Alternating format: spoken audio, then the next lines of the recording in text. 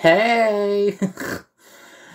How are you doing, peeps? Um, this is my first video for my new YouTube channel called Jordan's Jukebox. So, originally, I mean, if you watch my last video, I explained that I wanted to live stream, like, full reaction videos. But I'm very new to the YouTube kind of manosphere, and I didn't know that when you go on a live stream, you need to have a certain amount of subscribers or views, and it's that amount where I don't have. So, um, before that, I think I'm just gonna do just normal reviews, and I might play odd bits of music um, with the album um, as I go along with it. But um, it's going to be mostly just reviews instead of reactions because that way it's shorter.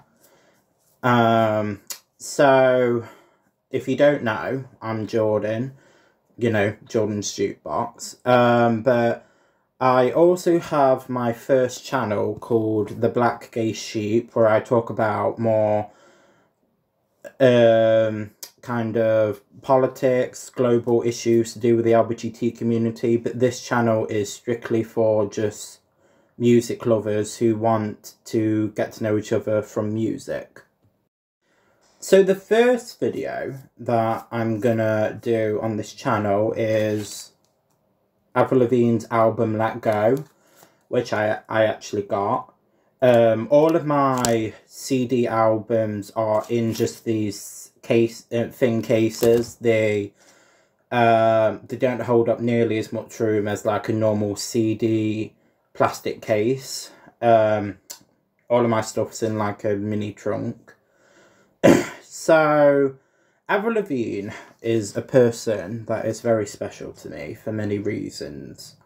Um, I just love her voice. It's the perfect mix of someone that isn't over singing, but then also isn't just a whiny kind of typical pop princess singer. And she had a look to her. Well, she's had many looks actually. She had a skater girl look. She had like a punk rock look. Um, she had a pop punk look. Um, and, and it's gone more poppy as the years go by. So, I definitely prefer her uh, first three albums because they went through, in my opinion, cool favourites. Um, but obviously, because this was her first album, Let Go, if you notice, she's only young on there. I think she was about 16, 17. So, before this album, she was like, I wouldn't say nobody, but she wasn't famous. So it's nice to have that album that made it in someone's life. And I would say that the first two albums sound very similar. Uh, I would say the only real difference sound wise is that her second album, Under My Skin, which I'm gonna react to either Thursday or Friday. Um, it has more piano sounds, and I would say it's more classical because of the piano, where uh, Let Go doesn't. So, um, to begin with, that I want to explain about this album. Um, this was the first album that I actually had of Avril Lavigne.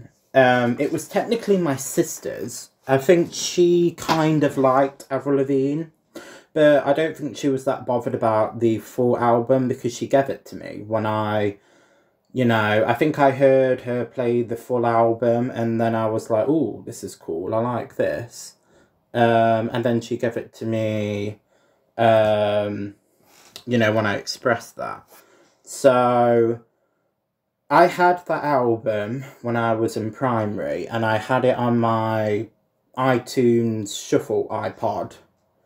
And yeah, I just loved it. I think it was the first album that I had that was pop, but it had more of a um, alternative pop sound, which is kind of rocky, you know. Um, that's always been her sound, kind of like skater music slash rock music, but in the production of pop. Um, so my two favourites used to be I'm With You and Sk8er Boi for two completely different reasons. I loved the music to and the lyrics to I'm with you. It's it's a bit more of a slower song, almost like a ballad, but not a belty ballad. Um and I liked Sk8er Boi because of the again the music um and the beat of the drums. Avril Lavigne was my first kind of introduction to someone who has a rock look and a rock sound. So, um, yeah, she definitely was. Um, but as I got older, you know, your tastes change and you might not prefer or prefer certain songs that a certain someone has done. So, um, with Avril Lavigne now on this album, I would say that I have about three favourites on the album. I have Naked, which is quite similar to I'm With You when it comes to the fact that it's slower and it's uh, more about the heart instead of just rocking out. Um, and then there's Mobile. So Mobile is one of the ones that are underrated, I think. So it's got more of a poppy sound compared to her other ones. I mean, it's still got that side of rock, but it's quite catchy. But the beat is very expressionate and it makes you kind of want to jump up and dance and pretend that you're lighter than air kind of thing. And I love the lyrics because the lyrics talk about, you know, everything is changing and I'm scared of it, but I'm going to embrace it eventually. And then my other favourite is probably Unwanted just because of the vocal ability that she has and also because of the lyrics because it's very angsty. It's probably the most angstiest one on the album. So, um, I would definitely recommend this album or even Avril Lavigne as a whole, but to starters, Let Go, to someone who um, likes alternative pop, because I think that would be one of the best ways to describe Avril Lavigne's genre. Um, yeah, um, so I would recommend that they listen to Complicated from the album first because it will be a song that they have listened to because it's just so popular and so well known. And then get them to listen to I'm With You because that one's more emotional. So they'll see both sides of Avril Lavigne that's more rock and then one that's more slower. So, um, I think that there's 14 songs altogether. There is Losing Grip, Complicated, Sk8er Boi, I'm With You, Mobile, Unwanted, um, Tomorrow, Anything But Ordinary, Things I'll Never Say, um, Naked, My World, um, too much that I'm asking for. I think that's all the songs. So, I hope that you enjoyed this video. If you like it, comment down below which one's your favourites or not favourites. Like and subscribe and see you guys.